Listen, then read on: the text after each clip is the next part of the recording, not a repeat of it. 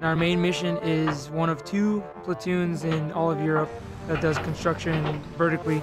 Our main effort is strengthening our uh, relationship with NATO allies. We recently deployed to Poland in April. Our main effort there was to construct shelters to protect an armored target.